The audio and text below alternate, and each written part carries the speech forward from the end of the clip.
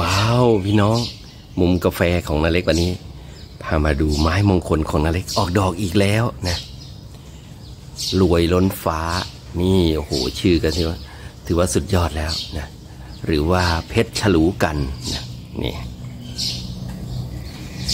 ก็เป็นไม้มงคลเกี่ยวกับเรื่องของโชคลาภเงินทองนะนดอกสวยงามเลย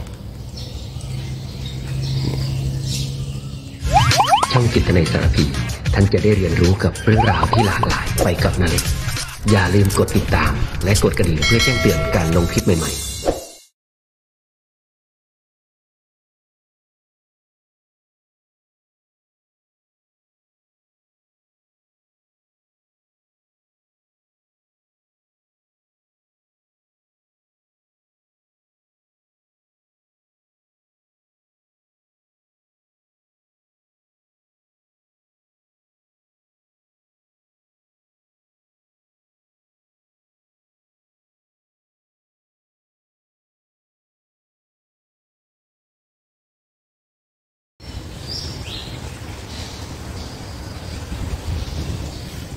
สวัสดีครับเช้าๆก็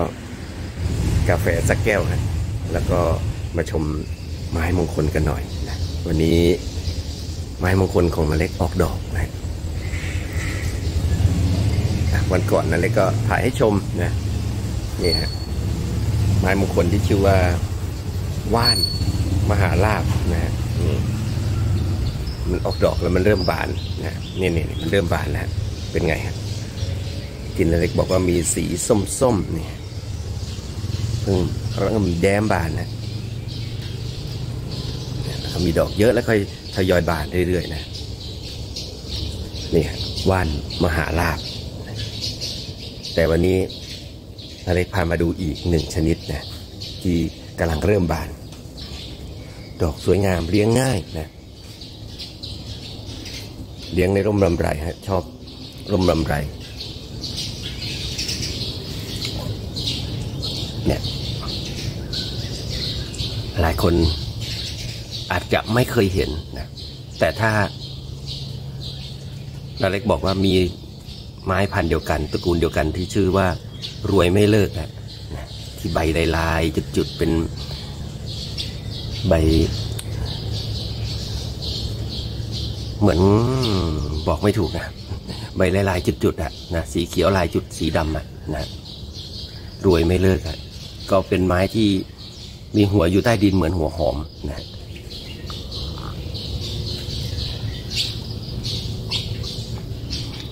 แต่ว่าทรงใบของเขาเนี่ย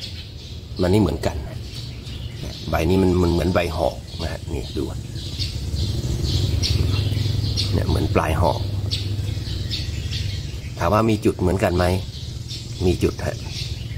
แต่ว่าถ้าเราเลี้ยงในร่มเนี่ย จุดมันจะ มีไม่ชัดเจนนะความเขียวของใบมันก็จะเข้ม ก็ทำให้เราไม่เห็นจุด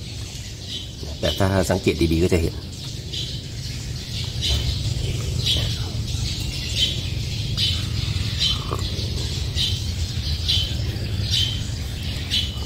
เนี่ยดูดอกของเขาครับ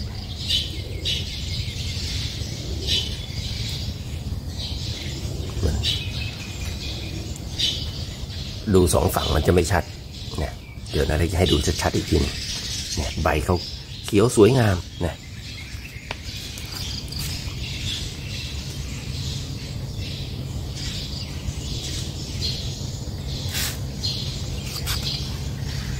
มันออกมาเป็นปุ่มๆแบบนี้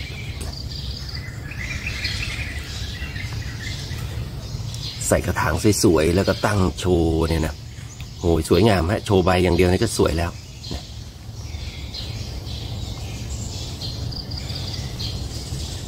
นี่แหละไม้มงคลเกี่ยวกับเรื่องของเงินทองโชคลาภนะ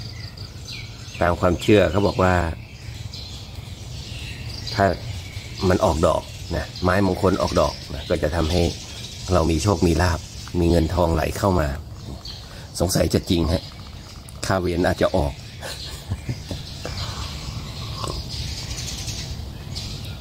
ก็เป็นความเชื่อไปฮะนะแต่สิ่งที่นาเล็กปลูกเลี้ยงไว้เนี่ย เพื่อความสวยงามนะ เห็นมันออกดอกนาเล็กก็ถือว่ามีโชคมีลาบแล้วนะเห็นมันเลี้ยงแล้วใบสวยงามนะทำให้เรามาดูแล้วเรามีความสุข นี่เราก็เป็นมงคลแล้วนะเพราะฉะนั้นอย่าไปคาดหวังเรื่องของความร่ำรวยที่มันไม่ได้เกิดจากน้ำพักน้ำแรงของเรานะแต่สิ่งที่เราได้จากธรรมชาตินี่ก็คือด้านจิตใจนะ ดูแล้วมันสวยงามแล้วก็มีความสุข ดูใบเขาเนี่ยสวยจริงๆนาเล็กมีอยู่สองต้นนะได้มาจากสุรินทร์บ้านพี่สาว ก็เอามาใส่กระถางไว้ตอนนี้มันเริ่มแตกหัวกันแล้วนะเนี่ยนะถ้าเราอยากได้เยอะเราก็สามารถที่จะผ่าได้นะ เอาหัวใหญ่ๆนี่มาผ่า ผ่าสองผ่าสี่ได้เหมือนกันนะเหมือนว่านสี่ทิศเลยนะเหมือนกันนะพวกนี้แต่ว่าเราอยากได้หัวที่สมบูรณ์ ใหญ่ๆ เราก็เป็นหัวแบบนี้แหละปล่อยให้หัวมันใหญ่ขึ้นเรื่อยๆนะมันก็จะได้ใบที่ใหญ่ ใบที่อวบใบที่สมบูรณ์นะแต่ถ้าเราผ่ามันก็จะได้ต้นเล็กๆนะแล้วก็ต้องใช้เวลาหลายปีกว่าที่จะได้ใหญ่แบบนี้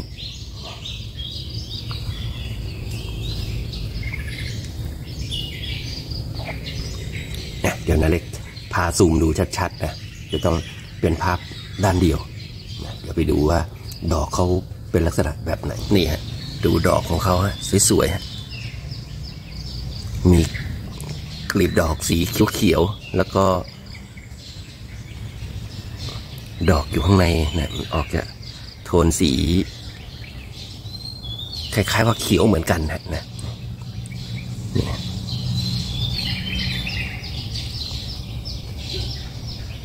แต่ถ้าเป็นดอกของรวยไม่เลิกเนี่ยมันจะเป็น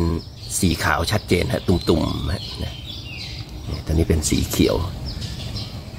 นั่นเลยก็เพิ่งเคยเห็นชัดๆนี่แหละนะเพิ่งเลี้ยงเองแล้วก็ออกดอกเองนะนี่แหละคือดอกของว่านรวยล้นฟ้านะ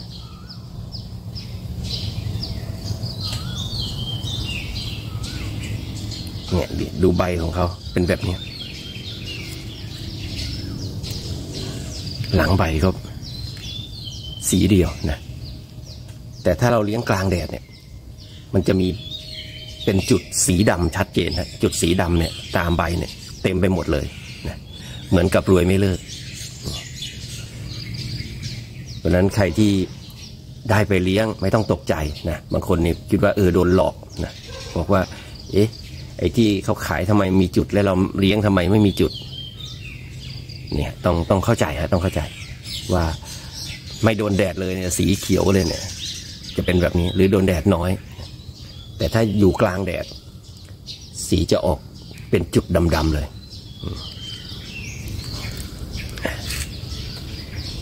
นี่แหละ ไม้มงคลที่ชื่อว่า รวยล้นฟ้านะ ครับผมสำหรับคลิปนี้นะเล็กก็เก็บมาฝากกัน เพียงเท่านี้ครับผม สวัสดีครับ